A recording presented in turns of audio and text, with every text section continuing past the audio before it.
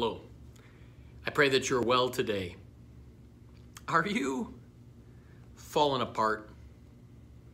You know, as I get older, my knees make noise. You know, as I walk downstairs, I can hear my knee making a noise. It's kind of a interesting concept. The scripture uses this language. Therefore, we do not lose heart. Therefore, we don't throw in the towel. Therefore, we don't give up. Therefore, we don't quit. We don't stop. We don't lose heart. But through our outer man is decaying, but though our outward we're decaying, we we are decaying. Yet our inner man is being renewed day by day.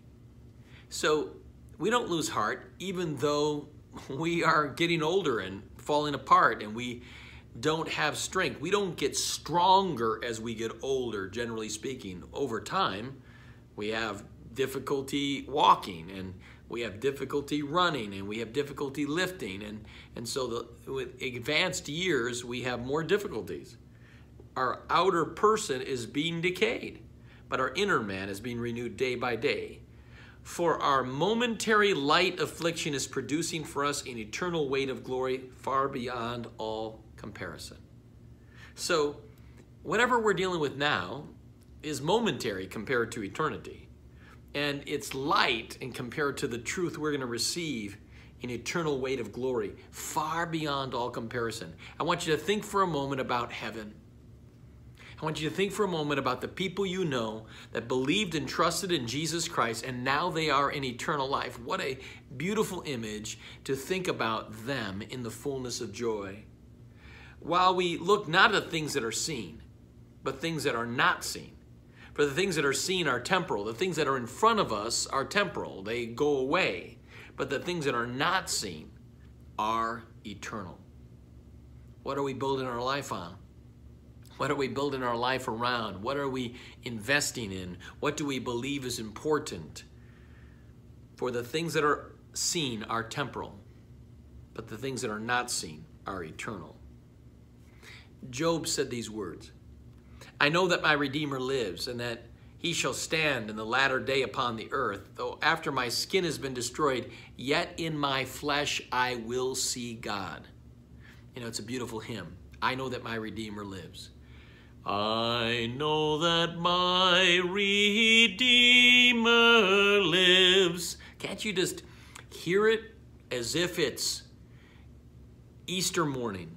I know that my Redeemer lives and that in my flesh, my new spiritual body, I will see God. It is a confidence of the resurrection. It is a confidence of eternal life. It is a confidence that why we do not lose heart even if we are fallen apart, we don't lose heart.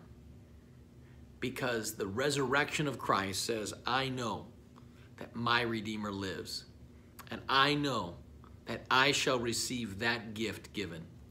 Please pray with me. Lord God, give us encouragement in this day, though even though there are difficulties all around, and even though there are things that people are listening to my voice right now who have struggles, struggles beyond what they really want or desire. But we don't lose heart. For our momentary and light affliction is producing an eternal weight of glory, and for that we honor you. May we think about things that are eternal and not things that are just temporal. And we make the confident statement of the resurrection. We know that my Redeemer lives. We thank you. In Jesus' name, amen.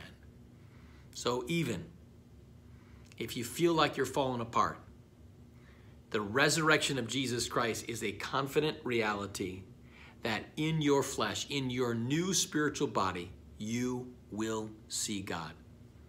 That is your confidence. God bless you today.